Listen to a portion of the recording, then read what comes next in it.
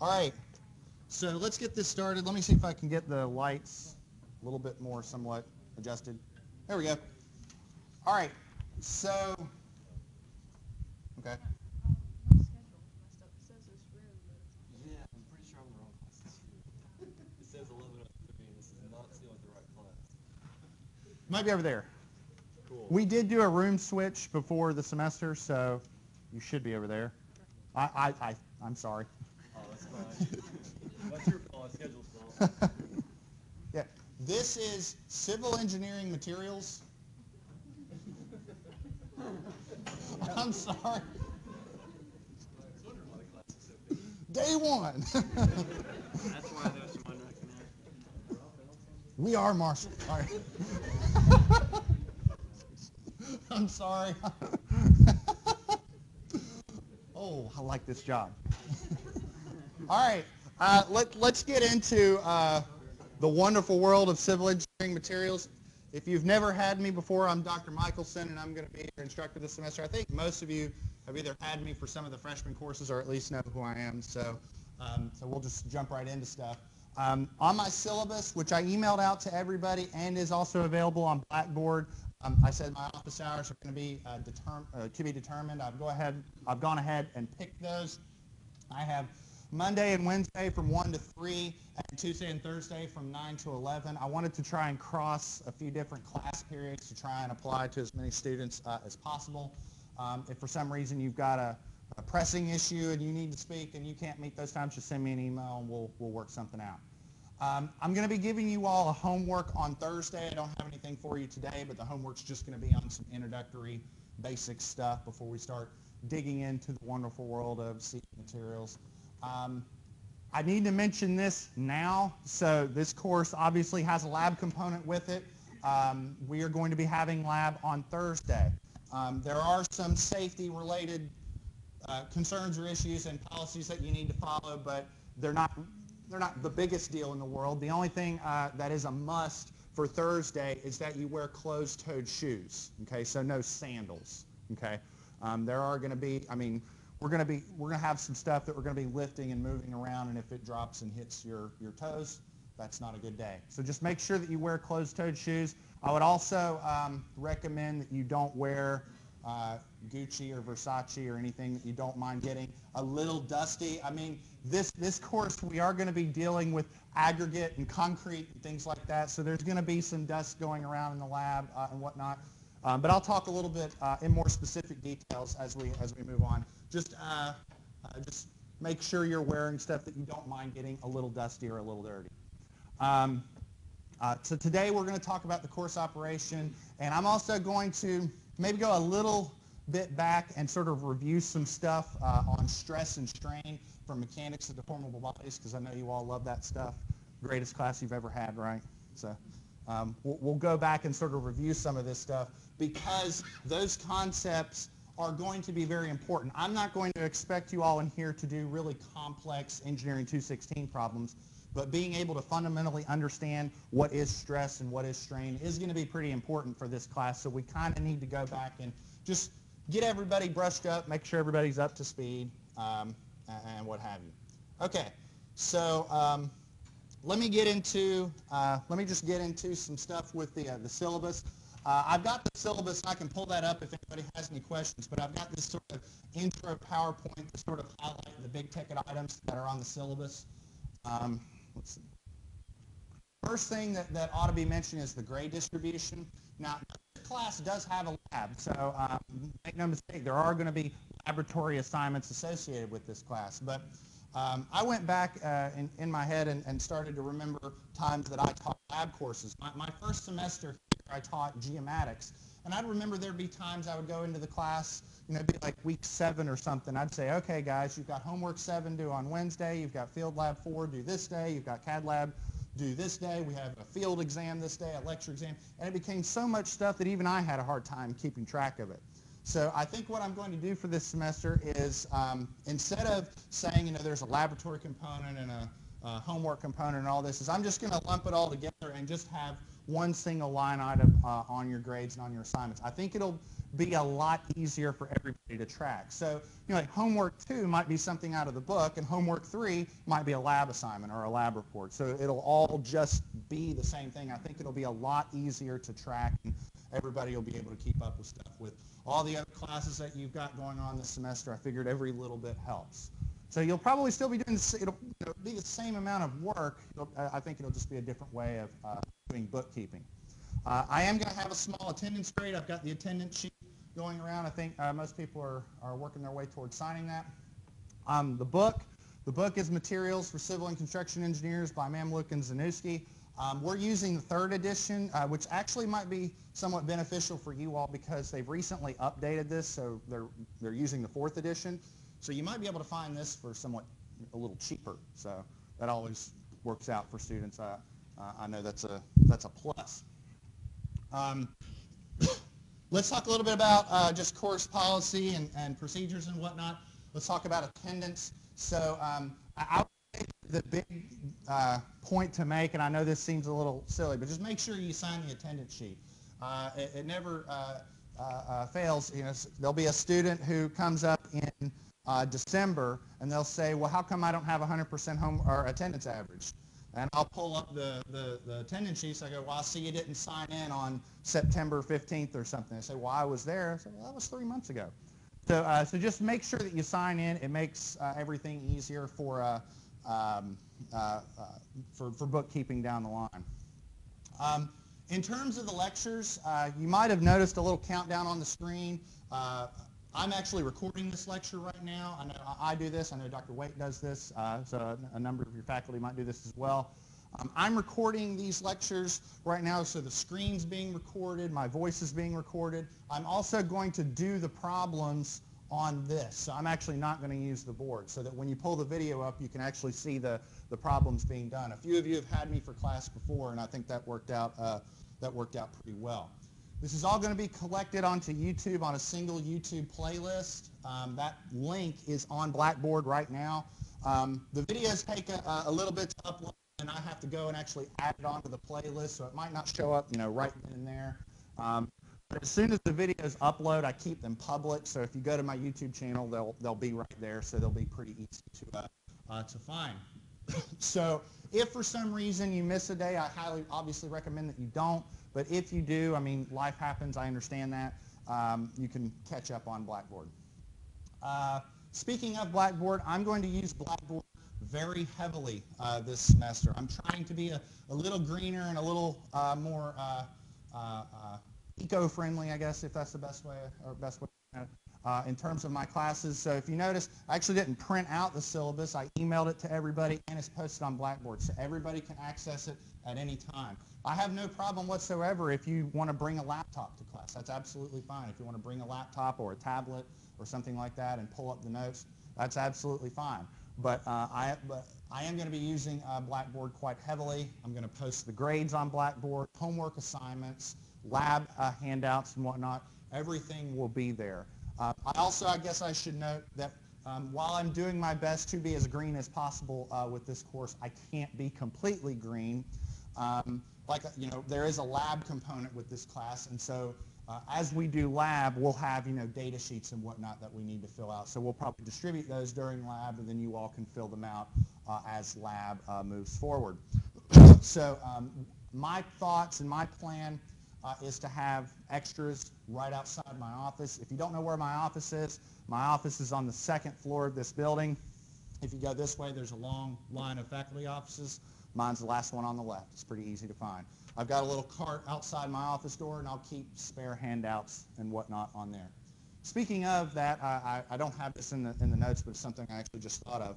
There are a couple times when during lecture we're going to be working on on some handouts and whatnot together. Um, one of the very fundamental skills that you will learn in this class is how to do a sieve analysis, which is a, a, a very important way of classifying aggregates, things like gravel and sand and whatnot. And in order to do it, you need a very particular template, which I'll provide you all, but you also need a straight edge. So it's probably not a bad idea to bring a straight edge or something like that to class. But I'll try and give you a little bit of a heads up when those days uh, uh, are approaching. Uh, any questions so far? We're good? Okay. Let's uh, let's talk a little bit about homework and exams. Uh, homework, um, I'll assign that during lecture, and I'll, I'll, I'll have it posted on uh, Blackboard. Um, it'll typically be due uh, one, uh, usually one week after it's assigned. Sometimes it's a little more. Um, just make sure you have it turned in on time. There will be three exams total, and let me go ahead and say this. I am in no way, shape, or form a comprehensive exam guy, and this is a perfect example of a class where that's going to work out really well. For instance, our first exam is going to be on uh, introductory content and on aggregates. And then once we finish that, we're done, and we move on to a new topic for exam two. So it's, I don't do comprehensive exams. I, I'm, not, I'm not a fan of it. Now, because uh, just because I don't do comprehensive exams doesn't mean that there aren't a few topics here and there that you need to understand moving forward. For instance, stress and strain. It's going to show up on every test. Uh, there's no way of avoiding that. So uh, make sure that you're uh, uh, aware of that. Um, for your exams, I allow you to use an 8.5 by 11 formula sheet. You can put whatever you want on that formula sheet except for worked out examples. And that's probably not really going to be a big deal with this class because a lot of what this class is about is procedures and methods and then just general facts about civil engineering materials. So that's probably not going to be the biggest deal in the world uh, with this class. Um, before I talk about lab, let me pull something up real quick. I've got here the syllabus, and I want to show you what I'm going to do with the exams. So um, this is uh, our first exam. Um, unlike uh, uh, unlike you know, some of my other courses, the exams in this course, the, the dates are, are fairly uh, set in stone. The reason why is because the exam schedule really does revolve around what we're doing in the lab. So we have to sort of uh, keep on top of that. So this is a very typical exam uh, schedule that I like to do. So the first exam will be uh, September 28th. So this is what's going to happen. On Tuesday, September 26th, what I'm going to do is I'm going to come in and I'm going to talk about uh, what's going to be on the exam, format of the exam, what topics you've got to very high level. And then I basically shut up and let you all ask whatever questions you want. You can ask anything. We can go through uh, facts about materials. We can go through homeworks, examples, whatever you want. Okay. You can even ask me what the answer to problem one is. I won't tell you, but you can ask. So you, you can, you know, sky's the limit.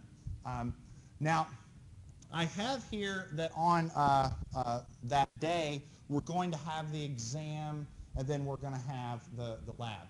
But I'm probably going to do this in reverse. See, this particular day, all we're doing is uh, breaking some mortar cubes that we cast in the lab the week before. So what we're probably going to do is we'll meet at 12.30, but we'll meet in the lab. We'll go, we'll break our mortar cubes, and then once we're done with that, we'll come in here and do our exam. Um, you notice we had uh, a little bit of a chuckle over the students who were in the wrong room. That was partially my fault. And the reason why is um, anybody who's in ASCE right now will tell you that room space this semester is, is damn difficult to find. And for some reason, this room is available from like 2 to 3 and 2 on. So I figured this would be the room that, uh, that would be perfect for this class because we could sort of have a, a quick huddle meeting before lab in here and then move on. But it can also serve a double purpose because we can go in the lab, do testing, and then come in here and do our exams. Or if it comes down to it, we'll do the exams in the lab. I don't think that's really a, a big deal. But I wanted to do exams on Thursdays because I'm not a time cruncher either. I don't like giving you a four-hour long exam and giving you 50 minutes to do it. That's not a pleasant experience for you. It's not a pleasant experience to grade. Um, so anybody have any questions about, about that or the schedule, anything like that? Okay. Um, probably what we will do for lecture and lab, especially on Thursdays, is we'll probably lecture from 12.30 to 1.45, and then we'll probably break for 10 or 15 minutes, let you all go use the restroom, just not be around me for, for, for 15 minutes. You civil engineering students are going to get to know me real well this semester, so any breaks from Dr. Michaelson, I'm sure, are, are, are well appreciated. so um, we'll probably meet from 12.30 to 1.45, take a, a 15-minute break, come back in here, discuss what we need to discuss with lab. We'll probably have some safety discussions each week. Make sure you know you're wearing your safety glasses and make sure you're watching, you know, pinch points and things like that. And then we'll go and do lab and, and leave. So sound good? Again, I haven't assigned lab groups yet. I wanted to wait in case there were a few stragglers that hadn't registered for classes yet, but I'll, I'll get that divvied up uh, as, the, uh, uh, as the week progresses. All right. So again, in regards to laboratory and laboratory assignments, so they're going to be, like I said, sort of mixed in with homework assignments. And that's not to say you're not going to do the work. I just genuinely, genuinely believe it is going to be easier from a bookkeeping standpoint. Now, this is a lab class, and you're going to be in a lab group. So some of the assignments will be turned in as a group, and I think that's going to be a little easier on you all, and I think it's going to be a little easier uh, uh, across the board. So our final concrete testing report, I mean, we're going to be doing a series of mixed designs throughout the semester and a series of tests as the semester progresses. So you all are going to have a lot of data. I'm just going to have you all turn that in as a group. So instead of getting 32 reports, I'm only going to get six, okay? So that'll be up to you all to decide how you want to, uh, to do that. Um, and again, lab group assignments uh, are going to, they're, they're to come. Uh, we'll meet in this room before lab. Big thing. Make sure you really do follow all the posted safety regulations. I mean, it's not, I, I, I don't want you to think that you're, you know, walking into a, a danger zone or anything, but I mean, we are talking about, you know, lifting concrete samples and whatnot. They fall, they hit your foot. That's not a good time. So make sure you're wearing closed-toed shoes. Make sure you, are wearing clothes that you don't generally mind getting a little bit dusty. And uh, when we do cement mixing or concrete mixing, it's probably a good idea to wear pants those days. It can tend to splash and, and, and get on you. So, um, any questions? All right, good. Everybody excited? Yeah, that was a different, different response. All right, so since you're so excited, I figured I would I would spend the uh, the, the, first day talking about mechanics of deformable bodies because that's such an awesome topic, right? um, um, don't worry. I, I think you're going to find that that that what I require of you uh, uh, and what knowledge that I expect that you retain from from mechanics of deformable bodies is fairly basic. I mean, mechanics of deformable bodies is meant to you know sort of stretch your capacity on, on, on that topic, but in the end, we really just need some fundamental basics uh, in order to, uh, to move forward. But I want to talk about some basics in regards to materials engineering, um, you know, some common civil engineering materials, some materials we're going to use this semester and, and, learn about this semester, why you pick some materials over others, um, and just get into the general swing of things with, with civil engineering material. So what are some common civil engineering materials that we're going to use uh, throughout this semester? You know, sometimes you might hear me say civil engineering materials. Sometimes you might hear me say construction materials. But essentially what I'm talking about is any material that is going to be uh, used or that comprises the built infrastructure and more or less anything that's going to be subjected to some kind of physical demand. So aggregates, you know, things like gravels and sands, uh, Portland cement concrete, um, steel, uh, things like precast concrete, uh, wood, timber, you know, asphalt. Um, also soils, although we have a whole class devoted just to, to soils because that's its own uh, unique uh, uh, science in and of itself. I mean, there are some less common materials that are worth mentioning. I mean, things like aluminum, things like plastics, things like uh, fiber reinforced polymers that are becoming a little more used nowadays they're not really the, the, the main bulk of what it is we, use in civil, uh, as civil engineers.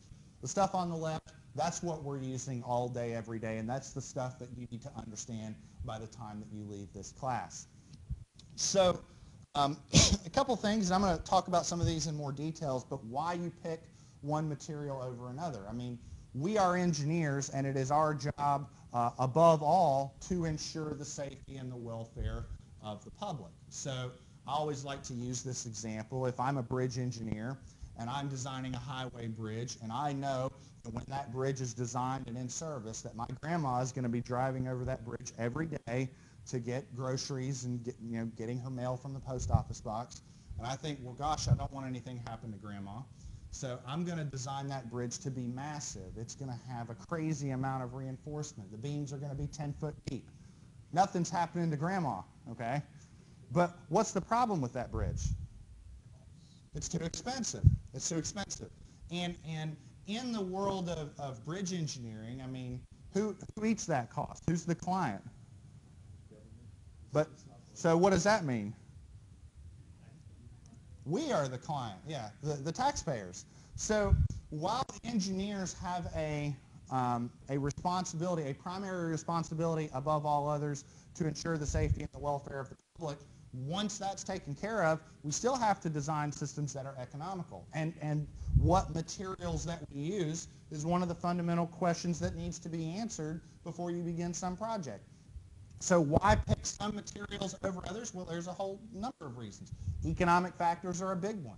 What about other properties of that material? Mechanical properties, non-mechanical properties, and we'll talk about the specifics as we get into this. Um, aesthetic properties. I mean, if, if you're the world of architecture and building construction, I mean, you have to design a, a building that meets all the required specifications and load demands. And on top of that, usually clients like the building to look kind of pretty. So um, aesthetic properties matter. Uh, the client's needs, what's the facility going to be used for? All that stuff matters uh, in material selection. So delving into this a little bit more, economic factors. Uh, raw material costs and availability, these are really big ones. I mean, uh, around uh, this region of the country and even as far as west, you'll see steel used a lot more prevalently, prevalently than you will in regions like the Southwest, like Arizona and New Mexico, because it's just, just not as available out there. When you go to Hawaii, they're using nothing but concrete because it's Hawaii. It's in the middle of nowhere. So that's what they have, and that's, that's what they use. So things like uh, you know, availability, manufacturing costs, transportation costs. I mean, steel, I, I keep going to steel because it's, a, uh, it's one of those materials that isn't uh, usually as readily available as something like concrete. You can find concrete plants all over the place. But um, steel is usually a much more efficient material, but there's a transportation cost associated with it. You know, so ultimately that needs to be weighed in. um, uh, mechanical properties. Mechanical properties are things that you've probably seen before in other classes. Things like uh, uh, the Young's modulus, the yield strength, the tensile strength. I mean, um, you know, the, the higher the stresses, the higher quality of material you might need. That's something that you're definitely going to, uh, to need to consider. Uh, aesthetic uh, aspects, you know, what does the architect want? What do the economics drive? Is there some political aspect involved in your process? It happens. Um, as much as we would like to avoid that, it, it, sometimes works its way in there. what materials are available?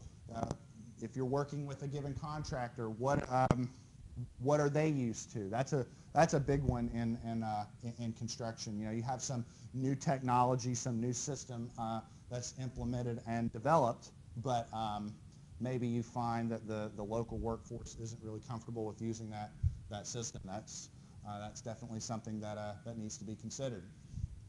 Um, so I, I just I wanted to, to to give you all sort of a general, you know, 30,000 foot view of you know, some, some important aspects with materials.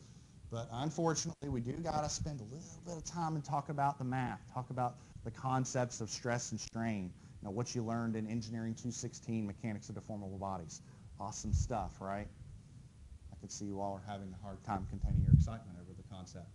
Don't, don't worry. Uh, if it's been a while or if you're a little fuzzy on this stuff, don't worry. It, it's, uh, it's not so bad. Okay, so I want to talk about stress and strain. I want to redefine some of this stuff before you and why they are such fundamental concepts to what it is that we do, not only in this class, but in engineering uh, in general. So let's consider the, the following structure. I've got a, um, a beam, it's simply supported and it's subjected to some loads. Doesn't really matter what those loads are. And then uh, I use the, uh, uh, the secret weapon uh, of structural engineering, which I didn't tell you all in structural analysis yesterday. I almost want to slap my hand for that. But uh, some of my folks who've had me before know what the secret weapon of structural engineering is. It's a samurai sword or a lightsaber if you're a sci-fi fan. So, 30th birthday. That's right. that was a good day. Right. So, if I'm sitting on this table and I cut right through here, or if, if he decides to use a samurai sword or a lightsaber and cut right through here, what's going to happen to me? I'm going to fall down to the ground. What's going to happen to his grade in the class? The point is, the point is that if you cut a section there, what's going to happen is the structure is going, going to become unstable and it's going to collapse. The reason why is because inside the structure at that particular point, there are a series of forces that are developed to keep the structure in equilibrium. Very, you know, fundamental concept of statics. Oh, I mentioned that word and onset of post-traumatic stress disorder just, rears its ugly head. Um, if we look at this two-dimensionally, you know, if you have sum of forces in the x direction, sum of forces in the y direction, and sum of moments, um, if I have, you know, three possible unknowns, there are three equations of equilibrium, that means I have three possible unknown forces inside that, inside that structure. So an unknown axial force, an unknown shear force, and an unknown bending moment, okay? And, that, and three equations of equilibrium will help you determine those three forces. And that's the gist of statics uh, in a nutshell. Um, the problem is, is that from a materials aspect, that's really not enough, okay?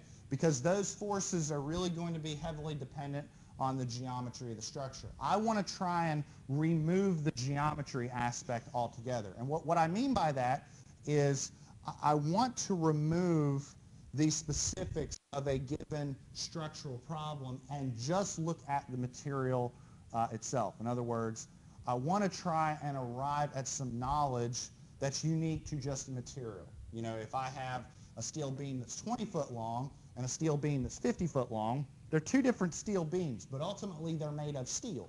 It's the same material. What I want to do is I want to learn more about the material. So I'm going to try and remove the geometry out of it.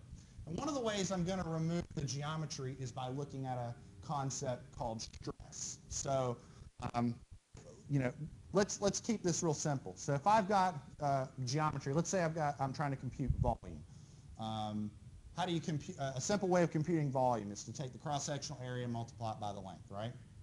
So one of the ways that I can remove the geometry is by removing the area, and that's where stress comes into play.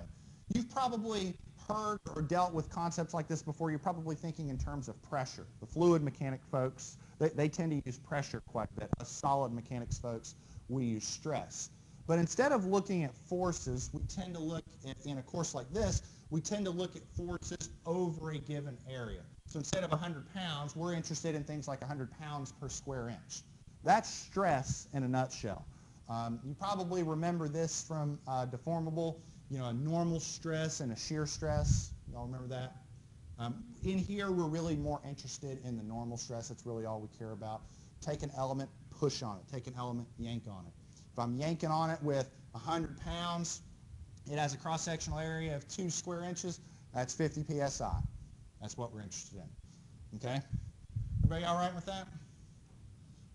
now, uh, technically, uh, well, I'll tell you what, let me, let me I'll, I'll, move past that and, and talk about this.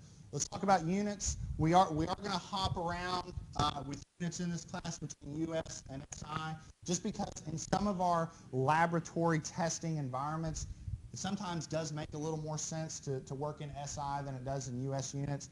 I will say this as, uh, you know, when you're dealing with construction folks and contractors and even structural engineers, we're primarily using US units here in the US. But again, in our laboratory environment, it sometimes makes sense to go to SI. Um, for stress, uh, if we're talking about U.S. units, I mean, you probably are very uh, familiar with PSI. Um, what you might not have heard of yet is KSI, kips per square inch. That is a very fundamental concept that us structural engineers use, so you might hear me use the term KSI a little bit. A kip is just 1,000 pounds if you haven't been exposed to that yet. Uh, in SI units, our fundamental unit of stress is the Pascal. It's newtons per meter squared. Uh, a quick little shortcut, you take a kilonewton and divide it by a millimeter squared, that'll give you a gigapascal. So that's one of the ones that I always have to go back and like, oh, what was that again? So I sort of put that on there just so you all would have a, a little bit of reference for it. Okay.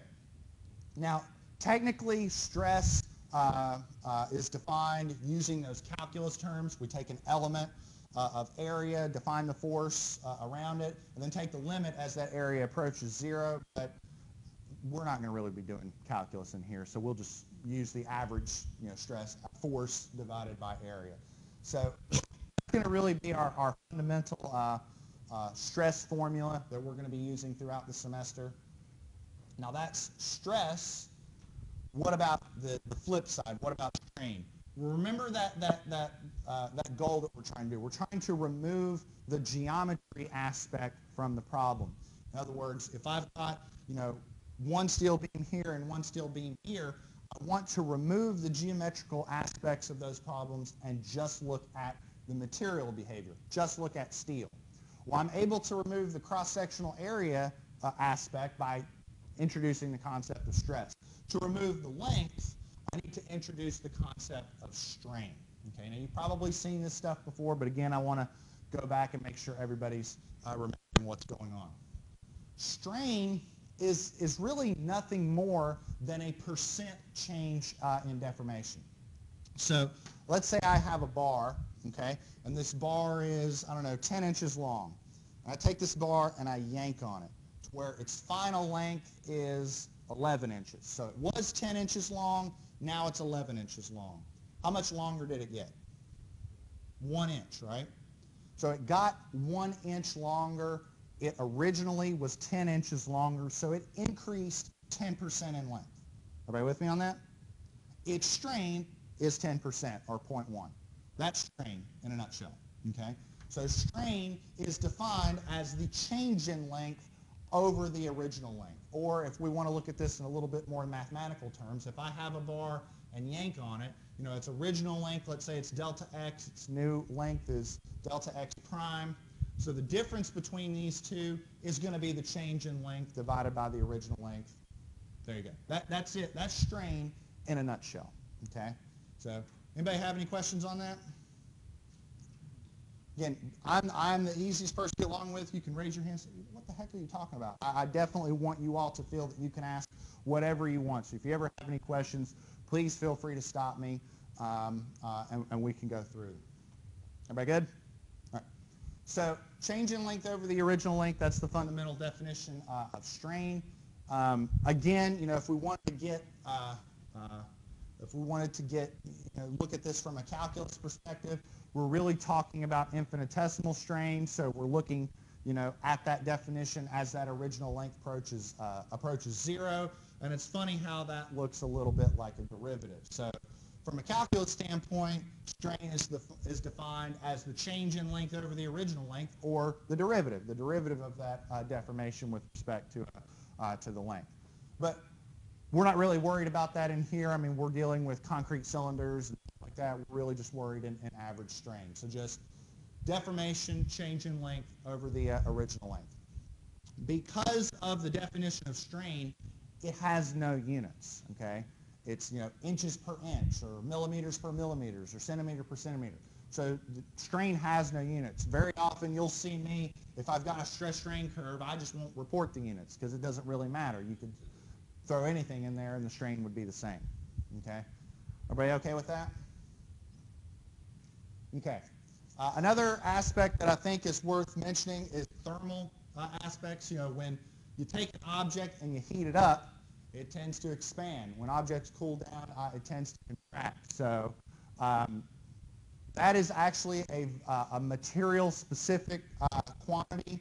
We call um, we can relate that strain and that change in deformation by a quantity called alpha. It's the coefficient of thermal expansion.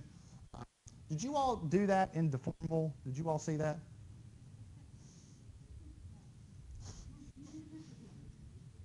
It's been a while. That, that's, that's the answer, the official answer, right? It's been a while, right? It's been a while.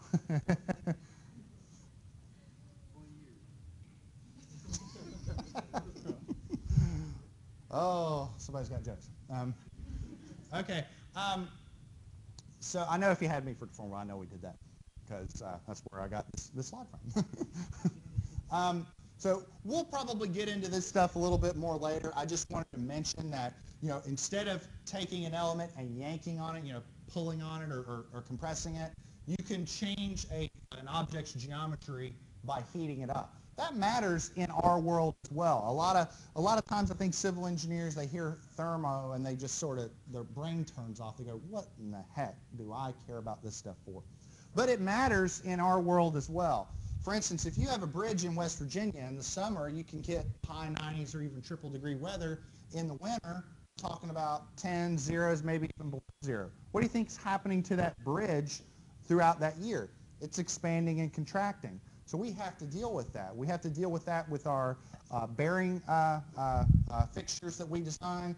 Um, we have to make sure that our foundations, uh, if necessary, are able to withstand that, that, uh, that longitudinal translation. That matters. So it, it matters to us as well, and it's something that we need to, uh, to account for. Now, everybody good so far? Now, we're able to remove the geometry aspect of a given problem by looking at stress and strain, okay? And what that does is it leads to a very fundamental relationship that we can define, which is called a stress-strain curve. In other words, if we take a piece of material and load it until failure, and we remove the geometry of that specific material, we can uh, derive a very fundamental piece of information about that material, and we call it a stress-strain curve. Now I have a video here, and I'm going to show you uh, what a stress-strain tensile test looks like. I'm very comfortable with showing you this video because around week 9 or week 10 we're going to do this. So uh, this is something that we're going to come back to and do later on in the semester. But I want to pull this up and show you all what's going on in a, uh, a tensile test, and then we'll come back and sort of re-explain uh, everything that was discussed. So let me see. Um, my playback device, I think I need to switch that here. Okay. So hopefully this isn't too loud, but, but bear with me.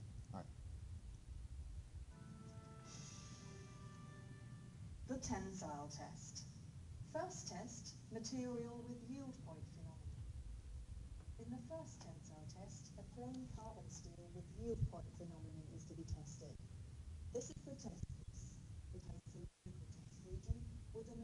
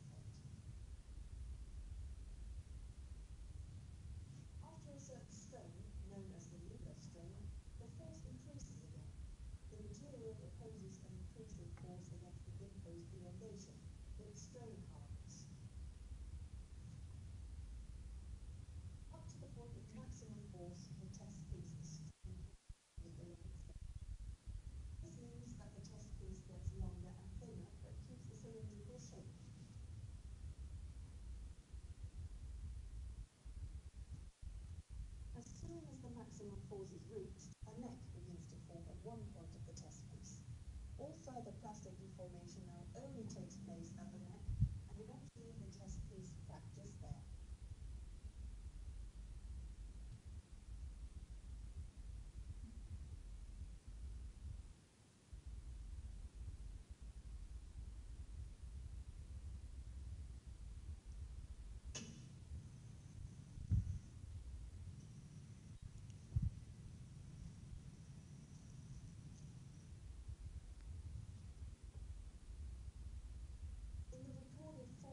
elongation diagram, the force FEH at the upper yield point can clearly be seen. This is the highest force the test piece can sustain elastically. FEL is defined as the force at the lower yield point, Fmax as the maximum force. I'm actually going to go ahead and pause it right here. strength properties of material. We'll probably end up using different notations, so, so that's, uh, that's no big deal. But when, when I um, one question I want to ask before we start going back and getting into the definitions of, of some of the things that just happened. All right, let's make up a number. Let's say that this number was 50,000 pounds, the, the amount of force that was required to fail that given element. When I said take the geometry out of the situation, let's ask that question in a little bit of a simpler fashion. If this bar, like, so again, let's say this is 50,000 pounds. If that bar was twice that size, would that be 50,000 pounds? Maybe it would be 100,000 pounds. See what I mean? That's the idea of taking the geometry out of the problem, okay? So that we're not looking at just that particular sample, but we're generating some information about steel in general, okay? So this force elongation curve, this is looking at the force and the distance, the amount of distance that it elongated. If I took the force and divided it by the area and took the, the change in length and divided it by the original length, I would generate a stress strain curve. Okay, does that make sense? That's what we're after. That's the fundamental uh, uh, relationship that we need to define for this material because the idea is that if we can understand some properties about that particular material, then that material could be a bracket or a beam or configured in any way, shape, or form, and we can understand its fundamental properties. That's the general idea. That's what we're sort of after uh, in this science. Does that make sense? Any questions on that? Now, I want to talk about the specifics of, of what happened here in a little more detail um, and, and raise some, some very uh, significant points. So, what I have here are some images of some example testing materials. So these are more for alloys, and you can uh, see, like what was uh, happening in the video, those tests tend to be tensile tests. They tend to be yanked on. The ones on the left are, uh, those are essentially concrete testing cylinders, and they are meant to be compressed. Concrete is a material, as you will uh, uh, understand throughout the semester, and if you take reinforced concrete design, concrete is a material that behaves very, very well in compression, but very, very poorly in tension. So uh, it stands to reason that the standardized sample that we cast for concrete is a sample that is meant to be compressed, and that's that's what you see right here. Now, the big point to uh, um, the big point to mention is this. So we agreed that if I took that piece of steel that was in that video and I quote unquote double its size, that forces not would double. But if I go and back calculate what the stress is and what the strain is, it will theoretically all be the same, right? That makes sense? Okay. That's why a stress strain curve is, is so fundamental because stress strain curves are unique to a given material. Once you take the geometry out of it, we're looking solely at the material. This is a typical stress strain curve for steel. The one on the right, that's a typical stress strain curve for an aluminum alloy. They are different not because the original samples were the same size or different size, that doesn't matter. They're different because they're different materials, okay? Each material is going to have its own different response that we need to understand in order to appropriately design with these materials because that's the next step. The next step is to take this low carbon steel and let's say it's reinforcement. Well, how much rebar needs to go in that beam in order to safely resist those loads? How many steel bolts need to go in that connection uh, and what have you? That's the point. That's what we're after uh, in this particular science. Okay? Now, uh, probably the most fundamental stress strain curve that we use for instructional purposes in any engineering concept anywhere is the one for steel. Okay, so let's look at a stress strain curve for steel. That is a, that that right there is a stress strain curve for steel. That's the one that we just saw in that video.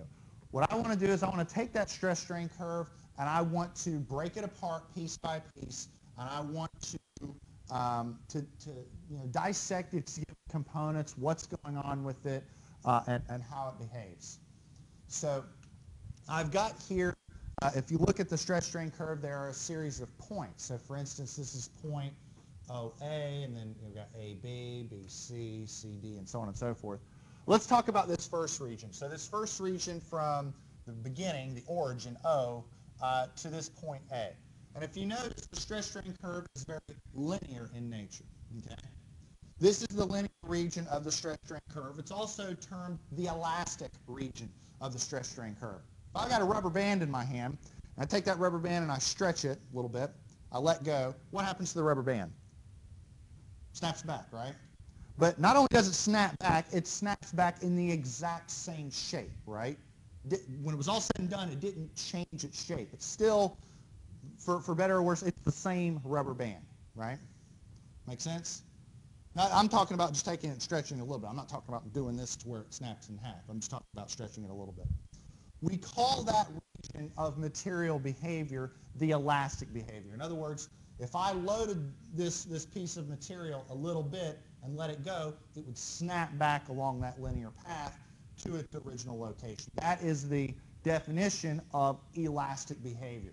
And for materials with a linear region like steel, if we look at this linear region, you all remember graphing, right? Change in y over change in x has a very specific name. We call that slope, right? Well, for materials, the slope of that elastic region is a very, very special term. We call that the modulus of elasticity. Sometimes it's called the modulus after Thomas Young, who was a scientist and engineer back in the 1700s and 1800s. Um, you'll probably hear me use the term interchangeably, Young's modulus, elastic modulus, but that's essentially what that quantity is. It is the relationship in that linear region from the uh, amount of applied stress and the resulting amount of strain. I mean, if I take a rubber band and I put 10 pounds on it, I can probably get a fair amount of deformation in a rubber band, right? If I had a piece of steel, you know, that thick, I mean, I know I'm a very physically intimidating guy, but I don't think I can get the See, I, very cheesy jokes. This is what you all are in store for. And for, for many of you, like five days a week, got to deal with me every day. But imagine if I had a rubber band and I applied 10 pounds, it's going to respond very differently than, let's say, a piece of high carbon steel. It's not going to be as easy to get the same amount of deformation, right? That's because steel has a much higher Young's modulus or elastic modulus than the material in a rubber band. Does that make sense? That is a material characteristic, okay? It's going to be easier to deform, let's say, a piece of uh, aluminum or a piece of wood than it is a piece of steel in the elastic region because the elastic modulus is much lower, okay? Make sense? Now, some of these numbers might seem a little odd, or a little odd in terms of their magnitude. I mean, the Young's modulus for steel, you know, we're looking at 29 million psi. You're going, really? Yeah, I mean, we're, we're talking about uh, steel. You can take steel and apply, you know, thousands and thousands of psi's and only get, you know, fractions of a percent in, uh, in deformation. Well, you take do the division, and yeah, you get about 29 million psi. So structural steel has a very constant uh, Young's modulus of 29 million. Uh, some materials like, like wood, I mean, it depends on the species of wood. You know, uh, aluminum, it's going to depend on the particular alloy. Concrete, it's going to pretend on the different mix. So these, these values are a little bit out of range. It's one of the reasons why you're in this class. Given a, uh, given a particular concrete mix or a given uh, sample of aluminum or whatnot, the idea is to do the test and determine what is the Young's modulus. You know, it, th this is a very fundamental aspect of what we're doing in this class. If you're on a construction site and you're placing, you know, hundreds and hundreds of yards of concrete for some particular uh, bridge or building or what have you. The idea is to draw off a particular sample and do quality tests to ensure that the material is performing according to specifications. That's sort of why you're learning what you're learning in this class. This is sort of uh, this is sort of the point. Um, okay, so one point I will mention about elastic behavior. Some materials present very linear elastic behavior, like steel. I mean that that elastic region is a straight line. Some materials don't. Some materials, the, the stress strain curve is very nonlinear. One material where the stress strain curve is very nonlinear is concrete. Concrete has a very nonlinear uh, stress strain curve. For you folks who took me for concrete design, remember 0.85 FC prime, that's why we use 0.85 FC prime was because uh, concrete has a very nonlinear stress strain relationship. Not to say it doesn't behave elastically, it's just not in a linear fashion. Um, excuse me. Um, some materials, uh, if you go to, if you go back to this curve, you know, you notice the material behaves linearly up until a certain point. Okay. For steel, that's a pretty easy point to determine. We call that the yield point. Some materials like uh, aluminum or aluminum alloys, they don't really have a, a, a defined sort of plateau. They just sort of soften as they go. From a design aspect, sometimes we need a value. We have to use a value or, or define a value in order to, uh, for design purposes. So um, there's a couple different ways of going about that. One of the most common is what's called 0.2% offset. So what we do is we draw our stress strain curve and we say, all right, let's go out a little bit. Let's go out uh, 0.2% or 0.002 on the strain curve. Shoot a line up that's kind of at that same slope. And whatever that intersection is, that's sort of our maximum stress that we're going to allow that material to use. And it's really uh, uh, common, especially in materials that don't have a very well-defined yield point. I mean, some do, some don't. It just, it just depends on the material uh, that you're looking at. Everybody good with that so far? So far, so good? Okay. Again, if you got any questions, please uh, feel free. Um, uh, in terms of Young's modulus, there's a couple different ways that you can assess what the Young's modulus is or the elastic modulus. Um, and it just depends on the material and the application that you're looking at. Maybe you start out, maybe you look at a tangent modulus. So you, you calculus folks will remember this. Let me see if my pen is working. So, hey, it's working. Okay, so you know, I, I, I'll draw this line that's tangent to that curve right at the beginning and say, okay, that's my Young's modulus. I mean, sometimes you need a value for purposes of calculation, so you got to define something. Maybe what you'll do is you'll say, you know what, let's just take that starting point, let's find a pretty close intersection, and we'll use that. Or maybe we'll go forward uh, a little farther up on a chord modulus, or just try and define a tangent modulus somewhere up, uh, somewhere up on the curve. I don't, I don't want to delve too heavily into that. I mean, you're starting to get into some, some a, a little bit more of the esoteric stuff. We have some pretty uh, straightforward methods that we can use in civil engineering and some empirical uh, approaches that we can use to define uh, the Young's modulus for certain materials. I keep going back to concrete because concrete is, is one of those very common materials. It's very nonlinear. But um, when you start looking at concrete, there are a lot of very simple relationships that are defined uh, in order to, to calculate this stuff. For instance, uh, with concrete, if you look at the maximum stress on that curve, which we call FC prime, which my, I know my concrete folks, they remember that. But if you take FC prime, there are a lot of relationships associated with that value to determine some of these quantities. Like if you take 57,000 times the square root, that'll give you Young's modulus. So it's, it's at least a very uh, empirical approach. We'll get to this stuff as we move forward throughout the semester. I just want you to understand that there's differing ways of defining uh, these quantities, as you can see. Okay. Now, I want to talk a little bit about what's going on with this uh, particular steel uh, uh, sample in this test. So let's say you've got this particular piece of material you're yanking on, okay? Again, for the first part of the test and for the first part of its behavior, it's behaving a lot like a rubber band, okay? And a lot like a rubber band uh, in the sense that if you load it, let it go, it goes back to the way it was. That's linear elastic behavior. And let me be clear, in most design aspects, we do our best to try and ensure that materials behave linearly. We don't want you know, permanent deformations throughout the life of a structure. Some, sometimes they're necessary, uh, but many times we try and avoid it. But if we do get permanent deformations, this is what's going to happen. So not to get into chemistry too much. I know you, uh, it's a topic that also excites you all a lot. I love chemistry, right? Not to get, not to get too exciting. Um, but steel is a metallic alloy. And so you, you can almost think, you know, it, it's basically this big grid of a crystalline structure of atoms and molecules, right? I'm sure you all can sort of visualize that. As you load uh, a piece of steel, you're stretching those bonds between the atoms and molecules, right? Makes sense? I mean, you take a piece of steel, you load it, those molecules stretch out a little further, the bonds get a little stretched, right? Over time, once the stresses get a little too large, the bonds start to break a little bit. And once those bonds start to break, you'll find that the material starts to shift around and realign a little bit, and it starts to deform permanently. We call that yielding. Um, it's a very easy process to visualize if you think of something like a paper clip.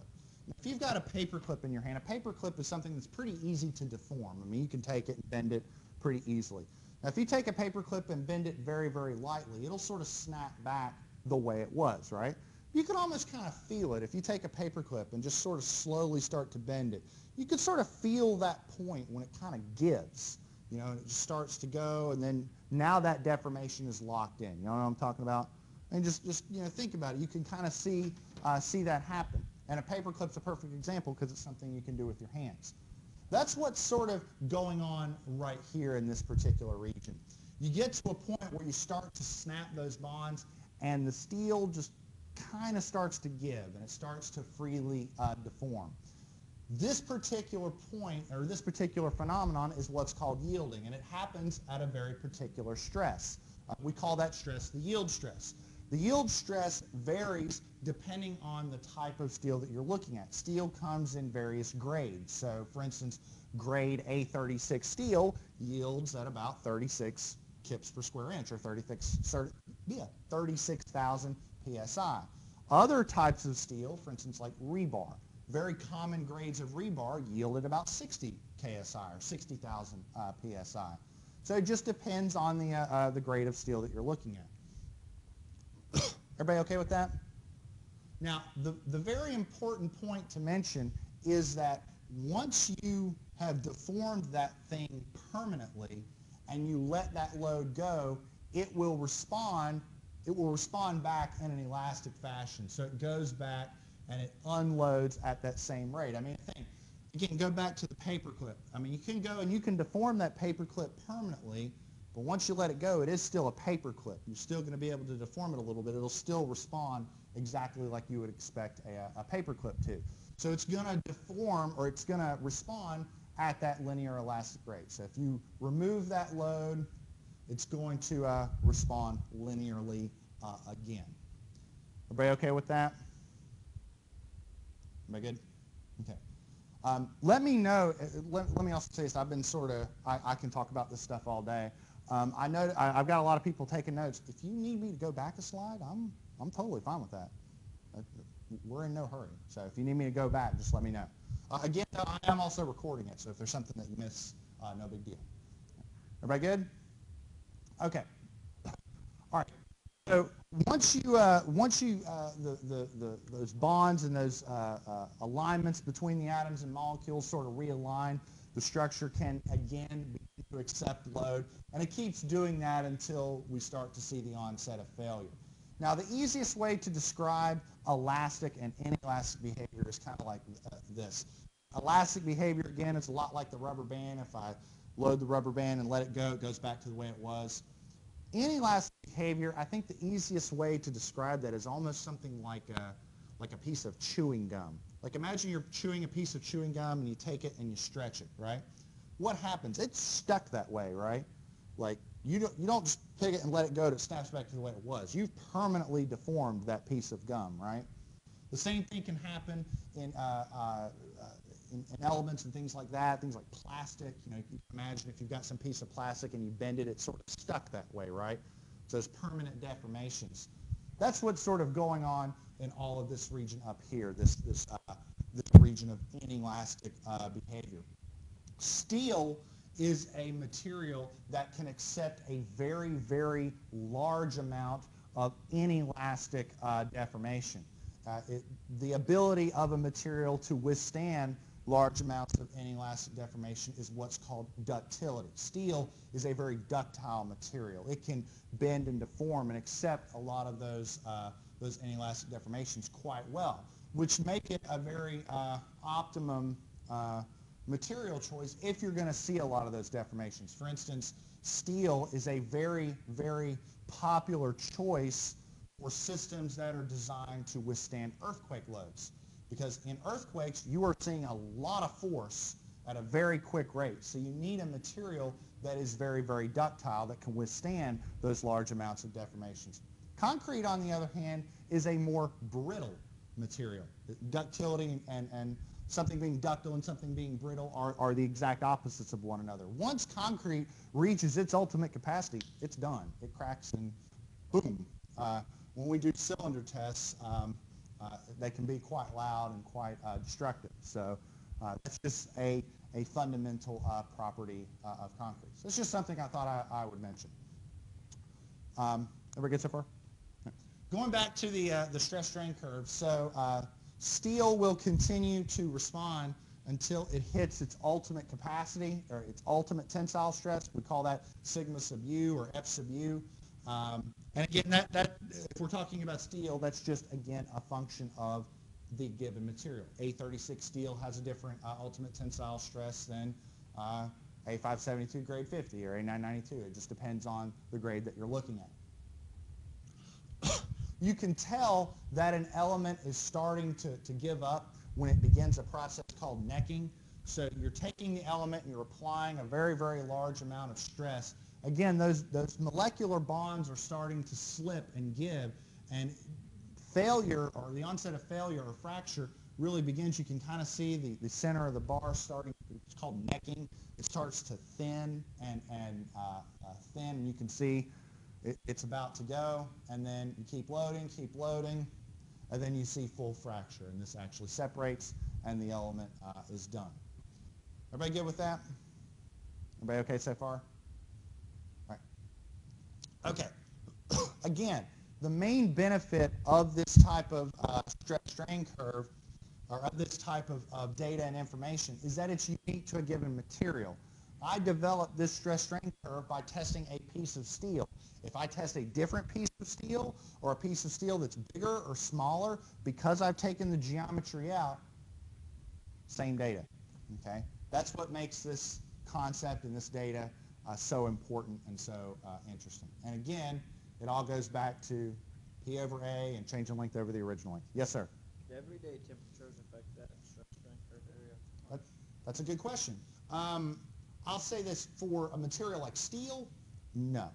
But there are materials where, yes, it actually can. Um, a lot of the newer materials that you, you know, like fiber reinforced composites and polymers and things like that, um, where temperature isn't as big of a deal for steel in the, and it can be for, for other materials. Now let me say this. I'm not saying that, that steel temp, uh, temperature doesn't affect steel. It certainly does.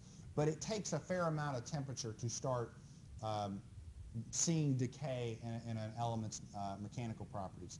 Usually once you hit around, say, I mean, we're talking like 1,000 to 1200 degrees, something like that, then you start to see some serious onset of, of decrease in mechanical properties. What ends up happening is that your Young's modulus just shoots down. Does that make sense? But uh, I'll say this, under, um, under normal temperate conditions, I, a, a piece of steel generally is not going to behave differently you know, in 100 degree weather versus 10 degree weather, but it, it still can expand and contract. I, I, don't, I don't want you to get those two confused, okay? But it's still going to fail at about the same yield stress. Does that make sense? Yeah. Is everybody else okay with that? Everybody else good? Um, let me see. You know what? I'll tell you what. Uh, we're starting to get to like 135, 140, something like that. We're actually getting pretty far ahead in terms of our material. We're actually a little further than I thought we were going to be. Maybe it's just 'cause I'm so excited about steel. I've just been going on and on and rambling.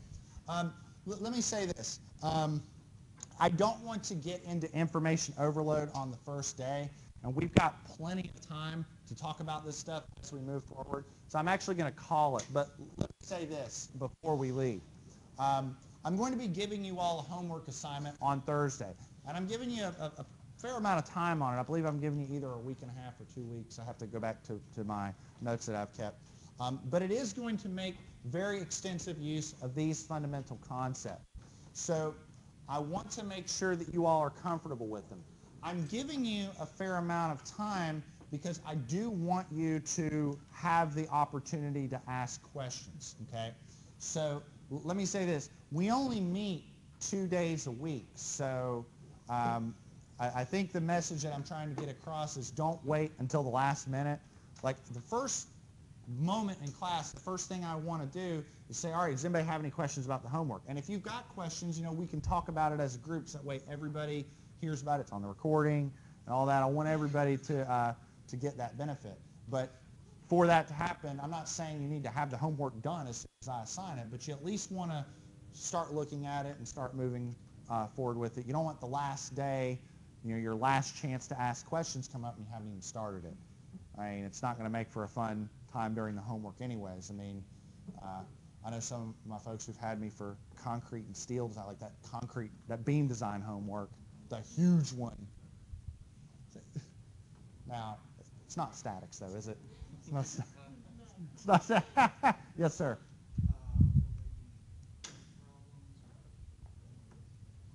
They're book problems. Um, but let me also say this. So your first homework assignment is going to have, I think it's like four problems. Yeah, it's four problems out of the book. But then the fifth problem is going to be just turn in your data sheet from our first lab. So th- that's, that's one of the reasons where I was saying your labs and your homeworks are going to kind of be mixed. Because instead of you all having two or three different submissions, just submit it all at once. You know, just makes it a little easier for everybody to keep track of it, especially when you got other classes and all that. Try and keep it as simple as we can. But yeah, it is going to come out of the book, but it's not going to be due for a little while, so you've got time to get the book. So, so yeah. Any other questions? Did everybody sign the sheet? Okay. I will go to the office up there and ask them if the room was fixed for engineering 104. they were like, what's this dude talking about? all right. With that, that's all I got. Oh, goodness. Oh, yeah. All right, we'll see you all on Thursday. And again, hey, closed-toed shoes. Make sure you bring closed-toed shoes for lab.